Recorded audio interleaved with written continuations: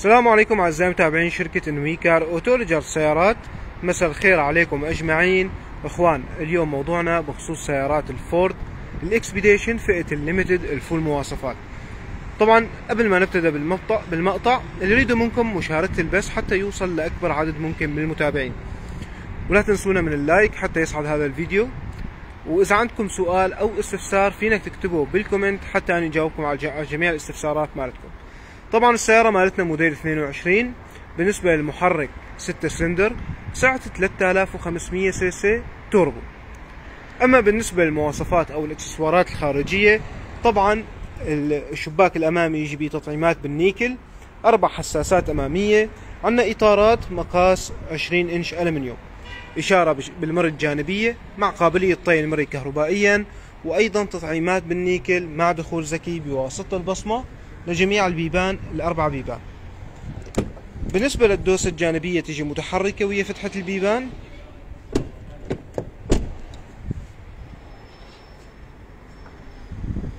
طبعا أخوان هذا فئة الليمتد الفول. هذا الشكل الخلفي مالتها.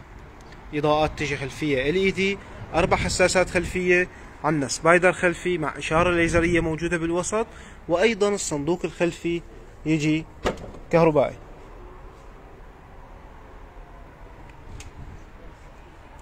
السيارة سبعة راكب ثلاث قطع تبريد موجود على كامل السيارة تقدر تتحكم بهذا التبريد بواسطة مقاعد الصف الثاني أو من المقصورة الأمامية. عندنا من الجهة اليسرى التحكم بطي المقاعد كهربائيا بمجرد أنك تضغط فقط ضغطة واحدة الكوشن لحاله ينزل بالكامل. هذا المقاعد الصف الث... بصفة.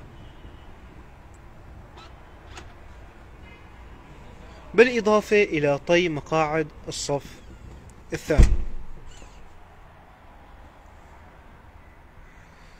خلينا نرجع لمقاعد الصف الخلفي ونشوف همينا أكو دقم موجودة هناك للتحكم بزاوية الميل مال الكوشنات الخلفية.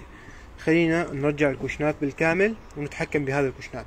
طبعا موجود منافذ USB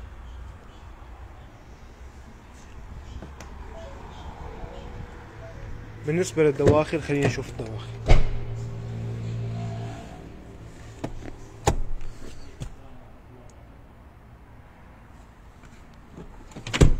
بالنسبة للدقم الموجودة هنا للتحكم بميل درجة الميل مال الكوشن. خلينا نشوف شلون طريقة التحكم. هذا بالنسبة للتحكم الخلفي بزاوية الميل مالتها. إخوان السيارة full واحد على واحد. عندنا فتحة slide panorama على كامل السقف. بالإضافة إلى مقاعد الصف الثاني بتدعم خاصية التدفئة. وهنا مكان التحكم بالتبريد المركزي. في عنا منفذ USB و Type-C وأيضا منفذ 150 فولت أيضا موجود. إخوان اللي عنده سؤال أو استفسار فينه يكتب لي بال comment حتى أنا أجاوبه. هذا ال design الداخلي مال السيارة. هذا ال design الداخلي مال السيارة بالنسبة للجهة الأمامية. طبعا عندنا خزن لوضعيات الجلوس. جميع الجامات تجي أوتوماتيك. وأيضا التحكم بالمرايا الجانبية يجي كهربائي. هي القبضة مال البيبان شكلها جديد. عندنا بالنسبة للكشنات الأمامية كهربائية وبيها منفاخ للظهر.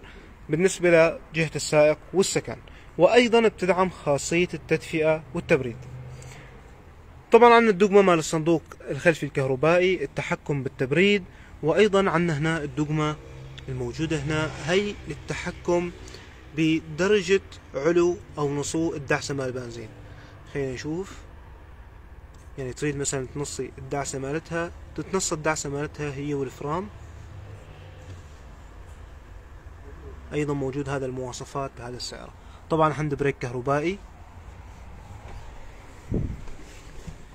تحكمات ال steering جهتين full بالكامل. بالنسبة للاتصالات الأوامر الصوتية كروس السرعة أيضا موجود. عنا شاشة بلادي بتدعم نظام ال Apple CarPlay تقدر تربط موبايلك.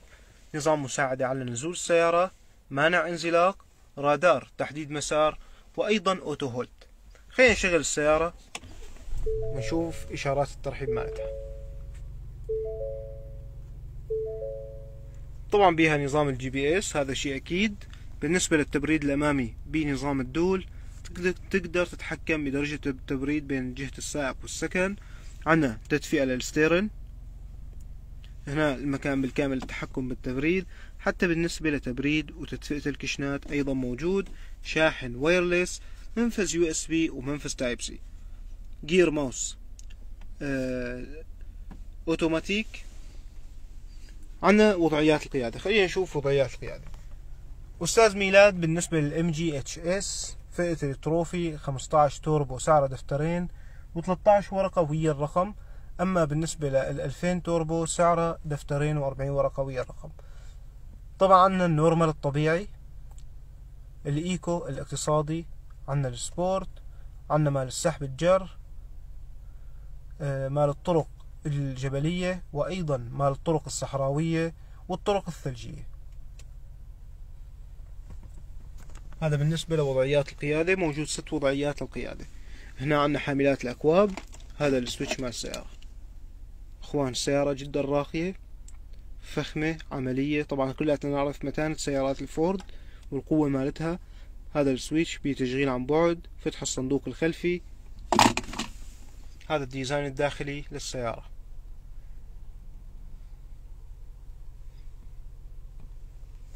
طبعا عندنا هنا منفذ كهربائي. 12 فولت.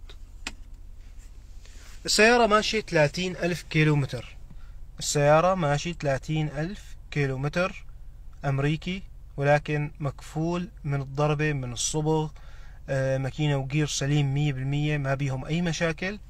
طبعا المراية الوسطية بتجي عاكسة للضوء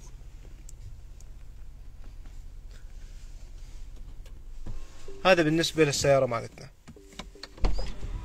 اللي عنده أي سؤال أو استفسار فينه يكتب لي بالتعاليق أو فينه يتواصل ويا قسم المبيعات على الأرقام الموجودة بالوصف وراح ينطيك كافة التفاصيل إن شاء الله.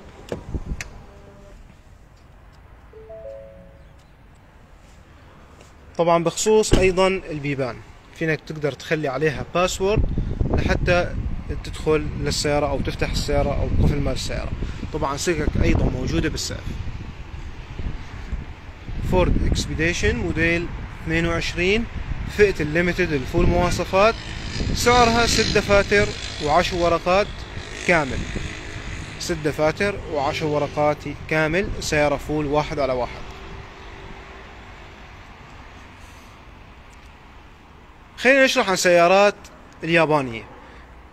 سيارة ال Mitsubishi Xpander فئة ال full مواصفات طبعا ضمان ثلاث سنوات سيارة عائلية ياباني سبعة راكب سيارة بها متانة رزانة تبريدة ثلج مواصفات كلش راقي سعرها جدا مناسب. تخيل سيارة سبعة راكب سعرها فقط دفترين وخمس ورقات واليوم كلاتنا نعرف إخوان سوق السيارات كله صاعد بالنسبة للأسعار مالتها. ولكن هذه السيارة حاليا يثبت جدارته بالسوق. طبعا بالنسبة للمحرك أربعة سلندر 1500 ولكن من نوع ال MIVEC أرقى محركات المتسوبيشي يلي ينطيك أداء محرك 2000 شلون الماكينة مال 1500 توربو تنطيك أداء محرك 2000 وممكن أقوى؟ وهذا نفس الموضوع ولكن هذا من نوع ال MIVEC ليس محرك توربو. ينطيك قوة للمحرك واقتصادية بالوقود بنفس الوقت. بالنسبة للإضاءات طبعا الإضاءات تجي LED عندنا بلاج كلورات أمامية وكشافات ضباب أيضا. بالنسبة للألوان موجود اللون الأحمر وإن شاء الله مع الأيام راح يوصلنا جميع الألوان. فينك تتواصل ويا قسم المبيعات وهنا راح ينطوك هذه التفاصيل. عندنا بالنسبة للإطارات الإطارات مقاس 16 إنش ألمنيوم باللون الأسود إشارة بالمراية الجانبية قابلية طي المري كهربائيا طبعا مكان المري الموجود على البيبان بهذه الطريقة يخفف من الضجيج أثناء سير السيارة.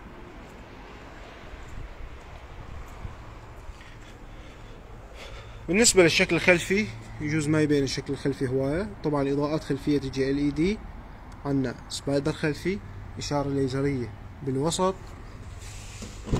هاي الدواخل. السيارة واسعة من الداخل. تبريد مركزي موجود على السقف أربع قطع على الجهة الخلفية. طبعا هذا التبريد إخوان منفصل عن الجهة الأمامية. سيارة سبعة راكب حاملات الأكواب موجودة أحزام أمان. سيارة فيها نعومة طصتها ناعمة آه سلسة بالمشي حتى الستيرن مالها مو ثقيل خفيف وانت عتقود هذا السيارة تشعر بالمتعة. بالنسبة للجهة الأمامية. طبعا عندنا الجام مال السائق الجي أوتوماتيك. تحكمات steering جهتين بالكامل بالنسبة للاتصالات الأوامر الصوتية كروس السرعة مثبت السرعة وأيضا التحكم بالمرايا الجانبية يجي كهربائي. مثبت سرعة والتحكم بمستوى الإضاءة الأمامية. طبعا شاشة وكاميرا خلفية هذا شيء أكيد و gear automatic. اليوم فينك تتواصل ويا قسم المبيعات تحدد موعد لل test drive. تقدر قبل ما تشتري هذه السيارة تقول أنا أريد أسوي test drive بهذه السيارة حتى أشوف السيارة مالتكم شنو بيها آه إيجابيات. أو أشوف السيارة مالتكم. إحنا طبعا بالخدمة ما عندنا أي مشكلة تقدر تحدد هذا الوقت ونطلع بيها test drive تشوف السيارة. وأنا متأكد لما أنت راح تطلع بهذه السيارة test drive إن شاء الله راح تعجبك السيارة. وبالنهاية هي سيارة ياباني سبعة راكب وبسعره جدا مناسب ومنافس لجميع الشركات. عنواننا أربيل تقاطع مخمور قبل شركة البيبسي. أي سؤال أو استفسار فيك تتواصلوا ويا قسم المبيعات على الأرقام الموجودة بالوصف.